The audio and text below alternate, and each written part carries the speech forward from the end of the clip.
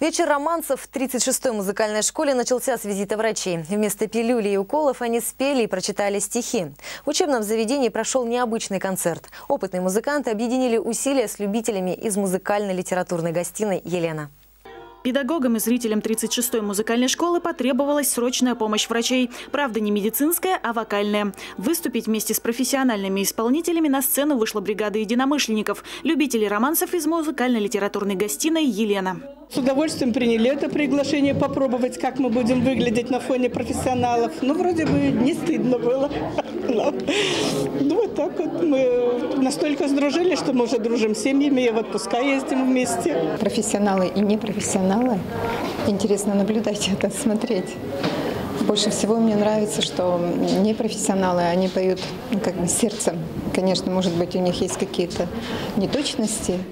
Музыкальные врачи из литературной гостиной Елена репетируют в свободное время. В начале творческой карьеры выступали в больницах, позже вышли на городские сцены. Для Виктора Корчагина этот вечер стал юбилейным во всех смыслах. Я 40 лет работаю врачом, акушер-гинекологом.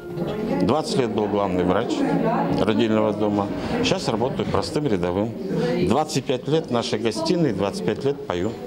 Романсами медик интересуется со студенческой скамьи. Такая музыка не только украшает жизнь, но и способна излечивать, считает участник вечера. Прекрасная поэзия, там прекрасная музыка.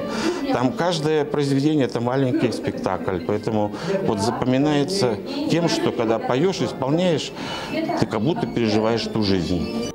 Как взять ноту и эффективнее исполнить ту или иную песню, некоторые секреты гостям подсказали педагоги музыкальной школы. Теперь здесь планируют проводить встречи регулярно, чтобы и дальше угощать северодвинцев лекарством для души. Елена Киева, Семен Тарасов, Вестник Северодвинска.